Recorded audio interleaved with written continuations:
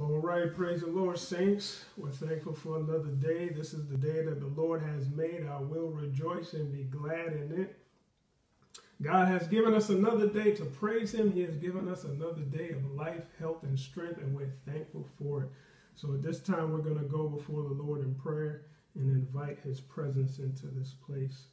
Father God, we're thankful for this day, another beautiful day that you have made. God, we thank you for life. We thank you for another opportunity to praise you, God. We thank you for all the blessings that you have blessed us with. We thank you for sustenance. We thank you for provision. We thank you for health, God. We thank you for protecting us, God, from all the dangers seen and unseen, Lord. We just want to give your name glory and praise on today. Lord, we pray for our loved ones right now, friends and family that are hurting, God. Lord, we pray that you would touch them right now in the name of Jesus, God any spirit of depression, God, any spirit of discouragement, God, we come against it right now in the name of Jesus. We cast those spirits out, Lord God. Lord, we deny and we reject anything that tries to exalt itself over the knowledge of you, oh God. So, Lord, we just want to give you glory. We want to give you honor and praise, God. And, Lord, may your word uplift your people and empower them, God, for this fight of the spiritual warfare, God. We give you all the glory. In Jesus' name we pray. Amen. So we thank God for everyone that's tuned in today. Once again, we're here at Sunday School where the learning never stops. And we're thankful that you decided to tune in today. And we're thankful for everyone jumping on today.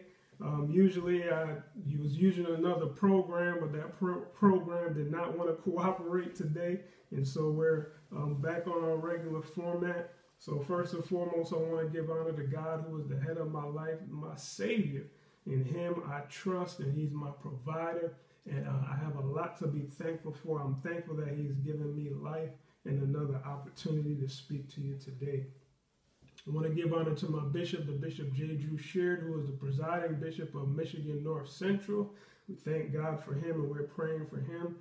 I'm thankful for my pastor, Pastor John Hall Jr., who is the pastor of Rehoboth International Ministries in Warren, Michigan. I also want to give honor to elect Lady Hall, who's the elect lady there.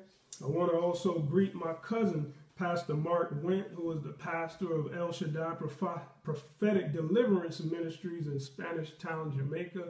He usually jumps on here, and I'm thankful that he takes the time and he does that. And he has a very powerful ministry there on the island of Jamaica.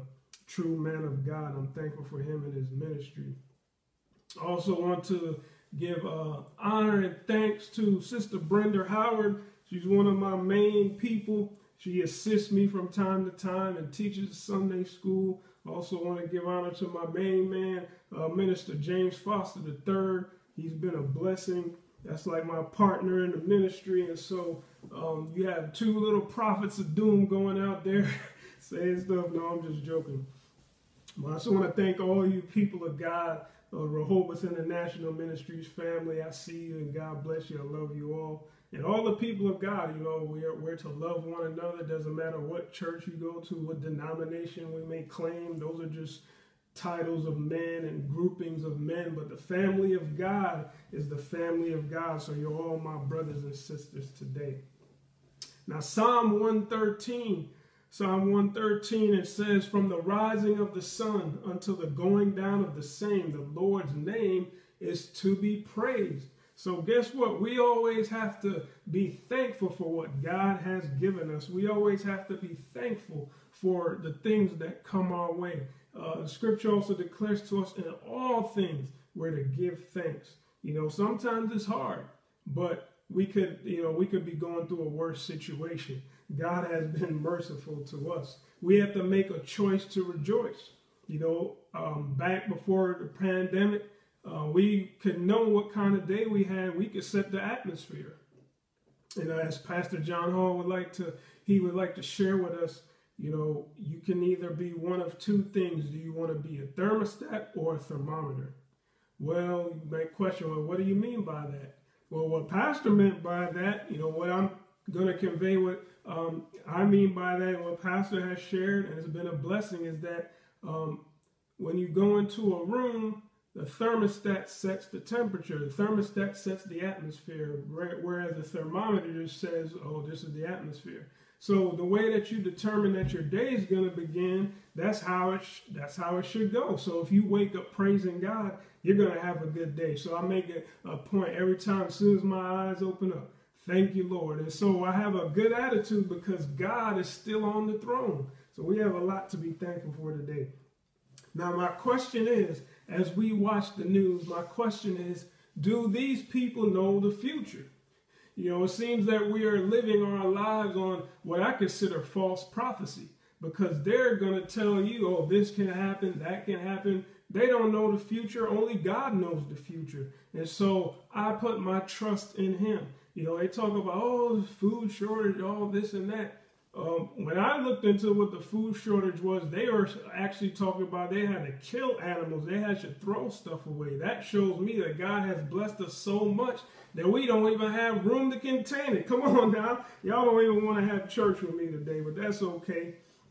Now, in the book of Acts, chapter 16, Paul and Silas, they were in a dark time. I've shared before, it's one of my favorite portions of scripture. And so, as we look at our situation, we may say, man, I'm in a dark time. But what did Paul and Silas do? First thing they did was they prayed. The next thing they did was they sang praises unto God. And so in our dark time, what do we have to do? We have to pray and we have to sing praises unto God. So we pray, you know, we make things right. We confess our sins. God, I'm giving this all to you because we can't bear all these burdens. We have to turn our burdens over to the Lord. And when we turn our burdens over to him, we don't have to bear it anymore. So I turn it over to Jesus. He's going to work it out. And so scripture also declares to us that it's not by might, not by power, but by his spirit, saith the Lord. And so it's not in man's might, not in man's ability, but it's going to take God. And so we put our trust in him. Now, in last week's lesson, we looked at the topic of peace and justice reign, and that came from the book of uh, uh, Zechariah, chapter 8. We talked about how that God allowed the Jews to go uh, into captivity to learn a lesson. And so the people of Israel, many times they had a, a Achilles heel to idolatry. They would look and see what the other nations were doing. They wanted to be like the other nations a lot of times. God would warn them. He would tell them not to you know, uh, at the beginning, when we look around the book of Genesis, God always gave a directive not to take wives from other lands because of their practices. Even as we fast forward and we look at King Solomon, who was King David's son, that uh, he had uh, 700 300 wives, 700 wives, 300 concubines, and so um, those women caused him to err from the from the the, the, the worship of God, and that's where uh, a lot of times God's people were punished because of idolatry. So God allowed them to go into the captivity so they would learn not to be idolatry, so that they He would remind them, you should know who the Lord your God is. And it's the same thing with us. As we look at all these things that they're prophesying doom and gloom, and as we see things going down, we think, see things a lot of shut, uh, a lot of things shut down. It should remind us um, in man's ability, things, you know, things are going to fail, but in God, he'll still take care of you. You can lose your job and God can still make income come in. You can lose your, your sustenance and God can still feed you. So uh, we're not to look to um, false gods. We have set up things before God and we've allowed these things to become our God, but God is the one that is our provision. Now, Hebrews chapter 12 Verse 11 says, Now no chastening for the present seemeth to be joyous, but grievous. Nevertheless, afterward it yieldeth the peaceable fruit of righteousness unto them which are exercised thereby. And so God punished them to bring forth righteousness. God is going to punish us to bring forth righteousness. He's going to teach us lessons so we know to be righteous. Uh, scripture declares unto us that Jesus learned obedience through the things that he suffered. Not that Jesus was disobedient, but God, even God, through his um, through Jesus, through his earthly ministry, his father was going to teach him there were certain things that he had to go through to be to continue on in the will of God. Now, God goes us, uh, God allows us to go through certain things to bring forth certain results. And there's sometimes we as parents allow our children to go through certain things so that they can learn. They may ask us for help, but there are also times that we say, you know what, I'm going to step back and let them go through that so that they can learn a lesson. That's what exactly what God does to us. And the question I like to ask a lot of times is where do we get that from? God actually imparts that into us because he does the same thing. Now, as we look at these past Sunday school lessons, if you notice that the, the lessons, they've been kind of hovering over the same thing, and that is the captivity. So when we talked about Esther, there was they that remained behind in the land of Persia after the captivity. Then we talked about Zechariah and Zephaniah, how the people came back to rebuild, or that they were warned that they were going to go into the captivity, but when they came back, that they would be able to rebuild. And so here we are in the book of Jeremiah. As we looked at those minor prophets, so to speak, they they were basically different perspectives to kind of give you a picture, a different picture from each perspective of what was going on around the same time. So Jeremiah, he is known as the weeping prophet. And from him, we have 52 chapters um, so in the book of Jeremiah, we have 52 chapters, and then Jeremiah also wrote the book of Lamentations, and that has five chapters.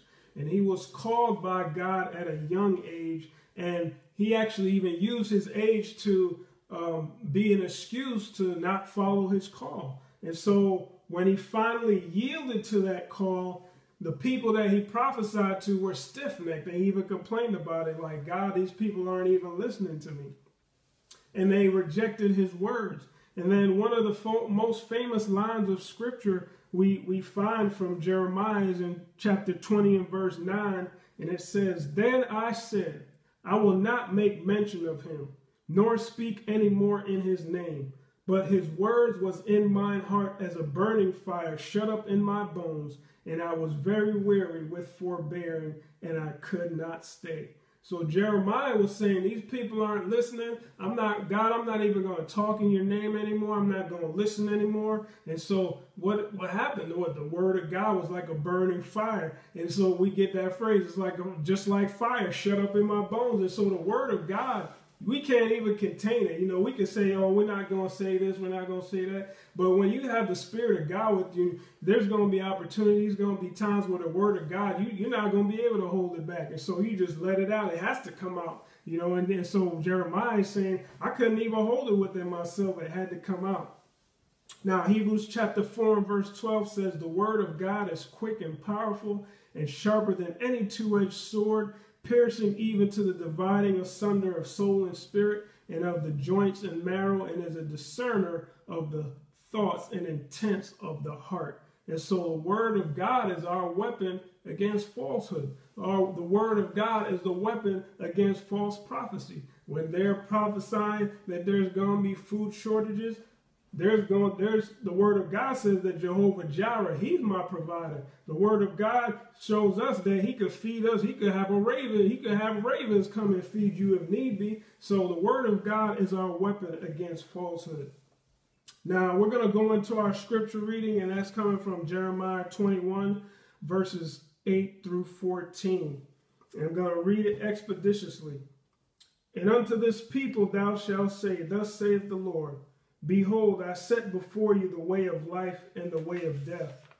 He that abideth in this city shall die by the sword, and by the famine, and by the pestilence. But he that goeth out and falleth to the Chaldeans that besiege you, he shall live, and his life shall be unto him for a prey. For I have set my face against this city for evil, and not for good, saith the Lord it shall be given into the hand of the king of Babylon, and he shall burn it with fire. And touching the house of the king of Judah, say, Hear ye the word of the Lord. O house of David, thus saith the Lord, Execute judgment in the morning, and deliver him that is spoiled out of the hand of the oppressor. Lest my fury go out like fire and burn, that none can quench it, because of the evil of your doings. Behold, I am against you, O inhabitants of the valley and rock of the plain, saith the Lord, which say, Who shall come down against us, or who shall enter into our habitations? but I will punish you according to the fruit of your doing, saith the Lord. And I will kindle a fire in the forest thereof, and it shall devour all things round about it.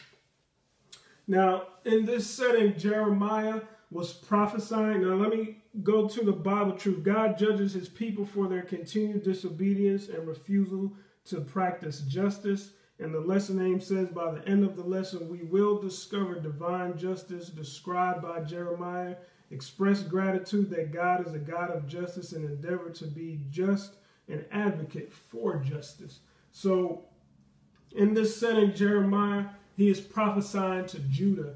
And Judah was what we consider the, the southern kingdom. So, uh, the nation of Israel, they were broken into two kingdoms after the death of Solomon, and they end up having two different kings. And so Israel was considered the northern kingdom, Judah was considered the southern kingdom. So Jeremiah is prophesying to the southern kingdom, which is in Judah. And at this time, King Nebuchadnezzar was positioned to overtake Jerusalem. And so this was the event that was going to lead them into the captivity. The, the, the city was besieged or it, it, was surrounded by the enemy of the Babylonians. And so as we look at verses 8 through 9, it says, Unto this people thou shalt say, Thus saith the Lord, Behold, I set before you the way of life and the way of death. He that abideth in the city shall die by the sword and by the famine and by the pestilence. And he that goeth out and fall into the Chaldeans that besiege you, he shall live, and his life shall be unto him for a prey. So God gives the people two choices. He says you either have gonna you have an opportunity to choose life or you have an opportunity to choose death. Now God still gives us choices today. You know, the word declares that the wages of sin is death. So God shows us, and he tells us, if you decide to live in the way of sin, that death will be your reward, death will be your punishment. Think about the people that quote unquote live the fast life. Think about people that deal drugs. A lot of times they die young because they have chosen the way of sin. They have chosen a, a, lifestyle that puts them at risk, a lifestyle that puts them at danger. And so, uh, we, if we continue in a life of sin, if we continually go against the word of the Lord, we are in danger. We are saying to our soul that I don't care about my soul, I don't care about the life to come, I just care about this life. See, in, in the world of sin, this is their reward, this is their heaven. A lot of people are complaining about being shut in because they, they want to go back to the bar. They want to go back to the strip club. You know, they want to go back to all of these things which are against the word of God. But um, if we choose life, now Jesus said, I am the way. See, we have to choose Jesus Christ. Jesus Christ, see, Jesus said, I am the way, I am the truth, I am the life. And so God has always given man two uh, options, either the way of death or the way of life. So uh, he said that they that remain in the city will die one of three ways. He said by the sword, which means war, that they were going to have to fight.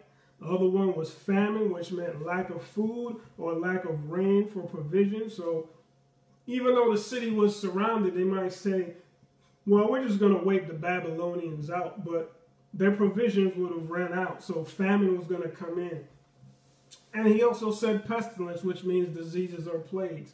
And so uh, these things were promised, these three things were promised back in the books of Leviticus and Deuteronomy that if the people did not remain loyal to the Lord, that this is what would befall him. And so God is not a man that he should lie. And so he, uh, what he promised to them was going to come to pass. Now, there are people that are more loyal to political parties than they are to God. You know, a lot of times the first thing out of their mouth, politician that, Democrat this, Republican that. Uh, we have to be more loyal to God than we are to a party. I'm not saying not to be uh, a patriot, so to speak, but uh, we're to be Christians first. You know, a lot of what I see on Facebook is we're fleshly first, we're politicians first, but let's be Christians first. Let's be children of God first. You know, we have people fighting the government instead of surrendering to God. You know, they, is that what God called us to do? Did God call us to go uh, protest with weapons on a, on, a, on a government official steps? I don't think he called us to do that. You know, but God said that he that goeth out and falleth to the Chaldeans, he said, you shall live. So the people, they were going to lose their freedom, but they were going to save their lives. now think about that. The people, now that's what people complain about nowadays. Oh, I, I lost my freedom, this and that. You lost your freedom, so to speak, but you have your life. And that's what is what that's what this is all about. And when I was looking at this lesson, I was like, God, where are you trying to go with this? How does how um, can I convey that this applies to what is going on today? And there it was that they lost their freedom. We lost the ability to go around and do whatever we want when we want it, but we have our lives. And so um, God has put these governors there to help protect people and to protect their lives. So God knows what he is doing, and the word of God never fails. Whenever you look in there, there is something in there that's for, that's for each and every one of us. So um, in verse 10, um, so where it says, and his life shall be unto him as a prey," means that your life was your reward. And so, if someone robbed you with a gun and then you were able to walk away, they took your possessions, but you were you were able to walk away with your life, then you won. you know, you can say, "Well, they got this, they got that," but your life is your reward. And so that's what God was saying. God was saying, even though the city's going to be destroyed, all of these things are going to going to happen. You're going to go into captivity, but you actually win because you you have survived with your life. And so, verse 10, he says, For I have set my face against this city for evil and not for good, save the Lord. It shall be given into the hand of the king of Babylon, and he shall burn it with fire. So, God already determined that the out, what the outcome was going to be, but he gave them a choice. So, um, with us, we usually take the option that's more comfortable. So we're we're gonna whatever the easiest way out, whatever the whatever less pain is, you know, that's the way that we take. And the word of God declares to us that some trust in chariots, some trust in horses, but we will trust in the name of the Lord our God. And so, uh, whereas people trust in the United States economy, where people trust in their job, but we have to trust in the Lord our God because when those things go away, what are we supposed to trust in? We should have already been trusting in God. You know, uh, our resources may go away, but we have to look to the source, not the resources. We have to look to the source. So, in these people trusted in the security of the city. But God said, if you do that, you're going to die. And so, um, same thing with us. If we trust in all of these things, um, they're going to leave us high and dry, but we have to trust in God. You know, we we have to chase after God. We have to diligently seek him and he will reward us. The word of God declares to us, seek ye first the kingdom of God and his righteousness and all these other things. And then what are they? Things. They're just things. We're seeking after relationship with the Lord Jesus Christ. Now, verses 11 through 12 says, And touching the house of the king of Judah, say, Hear ye the word of the Lord. O house of David, thus saith the Lord, execute judgment in the morning and deliver him that is spoiled out of the hand of the oppressor, lest my fury go out like fire and burn that none can quench it because of the evil of your doings. So uh, this is the equivalent of saying, um, you know, Mr. President, you need to listen to what God says. Lawmakers, do the right thing. Follow after justice. Stand up for the little guy when he is taken care of. So that was uh, the main thing that God was punishing them for was for injustice, was the things that they have allowed to happen to those that were less fortunate than everyone else. You know, they, they were not, uh, they were having the feast days, but they were not uh, fully celebrating or fully implementing the years of Jubilee, which was to relieve the debt, which was to give the people a break. And so God decided to punish them. You know, and they were to follow justice every day, not just every once in a while. And that's what's happened in our society. It's like there's so much injustice now that when justice does happen, it's almost like a treat. You know, like like they just here here's a Scooby snack for you. You know, but most of the time it's like, oh Lord, Lord, what? How, oh my goodness, I can't believe this. You know, and so it's the same thing that was happening in Israel. The people that were oppressed, the people that were poor, it's like, man, where, where's the year of Jubilee at? Where's the where's the forgiveness at? You know, we have we as a society have become the same way, and it's not fair for Israel to go in captivity and be punished, where we walk away scot free. You know, in this in this country, um, special interests have a say so because of money. They they pay money to lawmakers, and so we see things come into action that should not be. Why? Because of the love of money.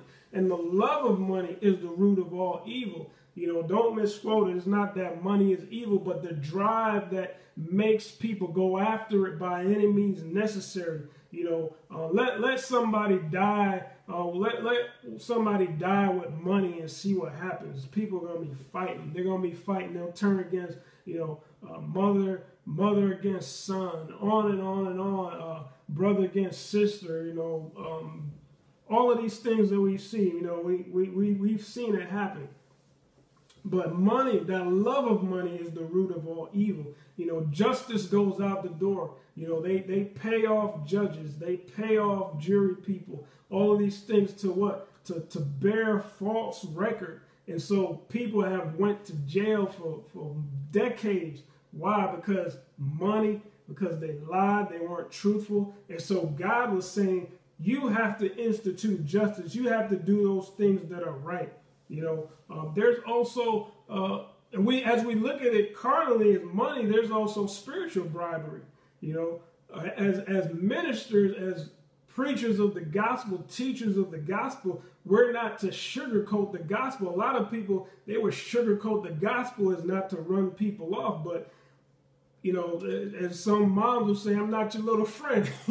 you know. Uh, when when a preacher gets up in the pulpit, they don't have any friends because they have to execute the word of God. They have to execute justice. And there there were things that when I got in the pulpit, I didn't want to say, but I had to say them because I don't like being convicted every day, all day. Y'all, y'all, there's some people that that can stand conviction. I don't like being at odds with God. I don't like that that that feeling in my stomach, like you know, God is just constantly on me. So I, there are things that I have to say I don't want to say, but I have to because it's the word of the Lord. And so, um, spiritual bribery, you know, spiritual bribery is oh, don't say the hard things, don't don't tell the truth, but we have to tell the truth. We have to institute justice. So the time frame that Hosea and Amos prophesied, they spake about the injustice of the poor, how that the wealthy would take advantage of them. Same thing happens in this country. Um, so here in this setting, uh, it was about 200 years after that. So where those prophets had prophesied, they were talking about, hey, we need to clean up, we need to clean our act up, we need to put things in order. 200 years later, the same thing was happening. So they did not listen, they did not learn a lesson. So God said, you know, don't make me mad or else my fury is going to go out like a fire that will burn up everything and you won't be able to put it out. You know, uh, when I thought about this this this verse, what came to mind is when you have a grease fire, you cannot put it out with water. Because what happens if you spray down a grease fire with water? It's just going to spread because the grease rides on top of the water. And so if you ever seen a video or you, you know, God forbid you see it in real life, if there's a, some sort of grease fire or uh, a chemical fire where the fire you know, so the, the liquid is on fire and you try to spray it with water, sometimes it'll just spread. And so what God was saying that that if you don't institute justice, my fury is going to go out like a fire that'll burn up any everything and you won't be able to put it out. And so God gave them two over 200 years of warnings. And as we look at that, how many years of warning have we had? How many years of warning have we had as nations? God has had preachers. There's some places, there's churches on almost every corner. And so we're not, um, there are people out there that are called prophets, considered prophets, but every person that gets up in a pulpit and preaches the word of God is can be considered a prophet. Because the, uh, the prophet Joel said, uh, according to the word of the Lord, this is God speaking, saying, In the last days I will pour out my spirit upon all flesh, and your sons and your daughters shall prophesy. So, what was he saying? Back in those days, it was mostly just men that were considered the prophets. But nowadays, anybody that preaches, God can put the spirit of prophecy on them. Uh, I was talking with evangelists yesterday on Facebook, and we are talking about how that some of the messages that we spoke about or we preached on, we're not considered prophets, but God had already basically was telling the church to get ready.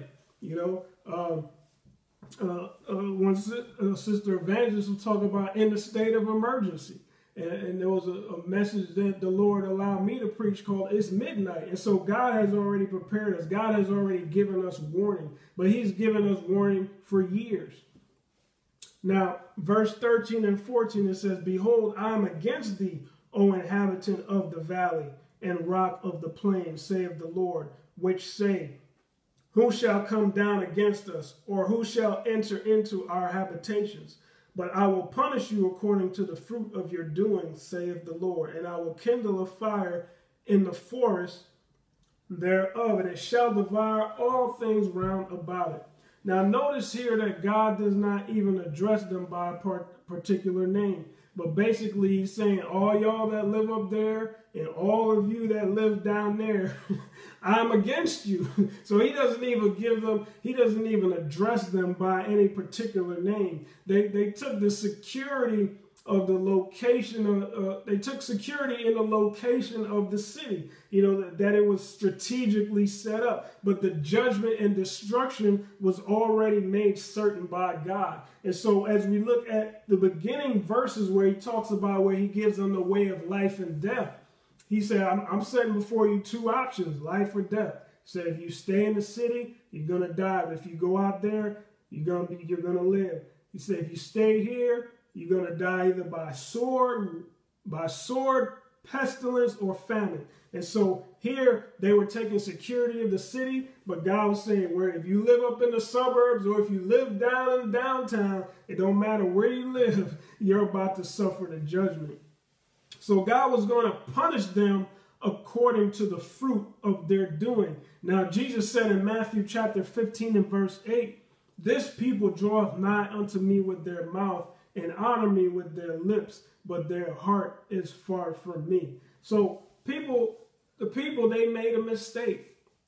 They took solace in what they had. They even took solace in who they were. You know, they, they were basically saying, man, y'all better recognize we're the people of God. God brought us out of out of the land of Egypt with a mighty hand. He opened up the Red Sea. He, he, he led us into the promised land. Yes, yes, yes. They had all those blessings. And so they even had sort of a, a, cockiness to them. But and even though they still worshiped God, they had the oracles of God, they still held the feast days, all of these things, but yet their hearts were far from God. They were going through a ritual, they were going through a routine, but God was not real in their hearts. So, you know, we make a mistake sometime of giving God a praise on a Sunday morning, but then when we get to work on a Monday, we're opposite of that which we were just the day before. You know, so um, go, going into a building to give God a praise once a week is not enough to say that we're Christians. We have to do more. We have to be more than that. You know, we can't say, well, if my good outweighs my bad, then I did good. We're always to seek to do good, but it's not by our works. It's by faith in the Word of God, in the in the in God Himself. You know, talk talk is cheap and actions speak louder than words. We've heard that many times. So God was going to start a fire that they could not put out. The whole city was going to be destroyed. Now, you know, Jerusalem wasn't just no fly-by-night city. It, it, this had been years upon years. We had talked about the Temple of Solomon, how, you know, how great that thing was. But God was going to say, all of this, all this that you glory in, all of the walls all around it, they were they were satisfied with their security. Oh, oh, we're good, man. You know, even though Babylon was uh, outside, no, we're good. We're just gonna stay here. We're gonna eat the food that we have. We're gonna, you know, live off the land, live off the crops and everything. God said, no, all of this is gonna is gonna be destroyed. My fire, my my wrath is like a fire that's not gonna be put out. So as we look at what's going on today, as, as nations, we boast about our countries. We boast, oh, look how beautiful it is. Look at the sustenance. Look at the bounty. And so we take uh, solace in those things. We take comfort in those things. And there are times we make statements like, oh, ain't nobody better than us. The, when we make those statements, we have to realize where our, our blessings come from. You know, there were times that Israel went out to fight. They had the better trained army. Israel did. They had the better trained um, uh, archers, so to speak. Um, but they lost. They lost to, there was a nation called Ai. If you look it up, uh, it's spelled A, literally A and I. Um, they went out to fight Ai, and Ai whooped them because what? God was not with them. And so if God is not with you, it doesn't matter how big your military is. If God is not with you, it doesn't matter how great your economy is. When, you know, and I've shared before that, uh, righteousness exalts a nation, but sin is a reproach to any people. So it doesn't matter who you are, God still requires you to do right. So right now a reset has come. God has brought everything low. And what can we as people do? We can't do anything. All we can do is ride it out until God says, okay, enough is enough. So the people of Judah got comfortable with injustice going on. You know, they trusted in their nation and even in God, but they did not know that God was not with them, that he was actually against them. So my question is, you know, ask yourself, do we as a nation get to that point? A lot of us can say yes. You know, we took prayers out of school. We've instituted laws that destroy human life. We've put uh, policies into practice that continuously take care, uh, take rather take advantage of poor people, uh, of people that are less fortunate. You know, uh, we, we like to continually punish people. And so we look at interest rates. People that are let that have the least income pay the highest interest rates. And so when you look at things like that, you know, people can say, well, it's justified because these people are more at risk. God wants us to be merciful. God wants us to do the right thing. God wants us to implement justice. Judges chapter 16, verse 20 says, and she says, it's talking about um, Delilah, the story of Samson and Delilah. And she said, The Philistines be upon thee, Samson. And he awoke out of his sleep and said, I will go out as at other times before and shake myself. And he wist not that the Lord was departed from him. That word wist means he knew not. So Samson, you know, Samson was basically like a person that's religious. He went out there and he says, uh, I'm going to shake myself at other times. I'm going to hype myself up. And that's where uh, his strength came from. God gave him a supernatural strength. And so the strength did not come from him lifting weights. A lot of times people picture Samson as a man that was a weightlifter and he had these big muscles. Samson looked just like, I believe he looked like just like a regular man because it said that when the Spirit of God moved on him, then he can do these miraculous things. And so he said, I'm going to go out, I'm going to shake myself as at other times. But he did not know that God had departed. So, so if Samson was a weightlifter, he was naturally strong how was he not able to overtake these Philistines this time? Because it wasn't in his physical strength, it was through the Spirit of God. Not by might, not by power, but by my spirit. That's what God has said. And so as we look at our situation, we we've said, oh, they stopped me from going out and doing this. It is God that gives us the power to obtain wealth. It is God that gives us the ability and the use of our limbs. So all glory and honor goes to God. Samson, he said, I'm going to shape myself just like other times. You know, we may say, oh, I'm just going to go to church like I did other times. I'm going to jump, I'm going to shout, I'm going to dance. But yet the things that Samson were doing were contrary to the will of God. Same thing happened in this, the people of Jerusalem. They worshiped God, they carried out feast days, but they did not know that God was actually against them. And so the title of this lesson was Practice Justice. Practice Justice. So as we relate this lesson to our lives, what can we learn? What can we learn about this? That um, no matter what the situation is, we have to do right. No matter what the situation is, we have to follow the word of God. And so it doesn't matter if you're a politician, it doesn't matter if you're a civil servant, whoever you are. We have to follow the will and the word of God. So praise God. That concludes our lesson for today. There are other times that I kind of went over time. And so um, we're going to get out a little early today, but we just want to thank you for tuning in. Um, there are a few ways um, we ask you to give, to donate to this ministry. Uh, you can give on Cash App as dollar sign the rim, dollar sign the rim, and you can also go to www.rehobothinternational.org. You can also give there. You can find us on Sun, uh, on YouTube if you've missed any lessons or you want to go back and check a couple lessons out. We're on YouTube as Rehoboth Sunday School. So please look at those videos when you get a chance and subscribe so that way um, you can have, if you know, if you miss a Facebook Live or whatever the case, you can go on there and find the lesson. So by the grace of God, next week uh, we will be in Jeremiah chapter two, 22, covering verses 1 through 10.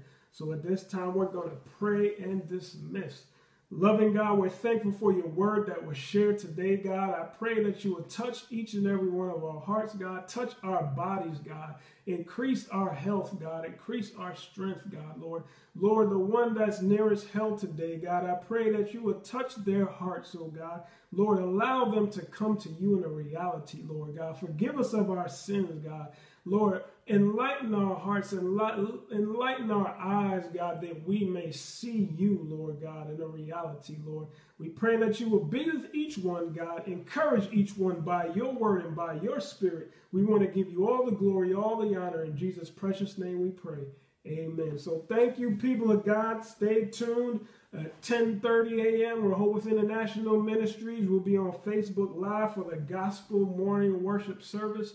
Encourage yourself in the Lord. Encourage yourself in the Word of God. You know, don't look at the news all the time. Give yourself a break from that. Encourage yourself in the Word of God. There are tons of ministries on Facebook that you can tune in. I've been tuning in to prayer meetings. I've been tuning in to services, Bible studies, and I've been allowing the Word of God to encourage me. So I'm not a person that's, you know, I'm not uh, the most outside exciting cheerleading person, but I'm encouraged because I've been constantly feeding myself the word of God. And the same thing can happen to you, but you just gotta remember what you're doing. You gotta feast upon the word of God. So God bless you and have a good day.